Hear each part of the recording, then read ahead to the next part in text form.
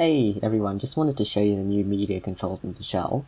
So I've got um, the Google Play Music Desktop Player open here. It's a pretty good uh, app and it supports the MPRIS specification as a lot of media players on the Linux desktop do. Um, so if I play some music here, for example this Android Sock Hop by Kevin MacLeod, wonderful artist by the way, um, so if I come up here to the no notifications and click on it, you can see that I've brought down the notifications panel and there's a new media player interface here which shows you the information about the music and it's also got the uh, the album art on the side over there and you can control the media player from here of course and you can also close it if you like um, provided the media player provides that functionality and some media players even let you drag the, um, the little position seeking thing here. Unfortunately, Google Play Music Desktop Player doesn't support that, so I can't show you that right now, but it does work for the media players that do support it.